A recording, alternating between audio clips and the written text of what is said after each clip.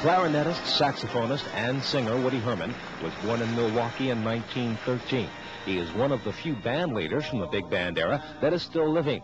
Big band music had its greatest popularity in the 30s and 40s, but seems to be regaining its popularity. I asked Woody, where are the new big band musicians coming from? Well, most of these guys have attended one great music department or another at home in the States, and uh, we have more great jazz departments now than we ever dreamed we would have, and consequently we're producing some truly great young players. Here is a bit of the big band sound of Woody Herman and his young Thundering Herd.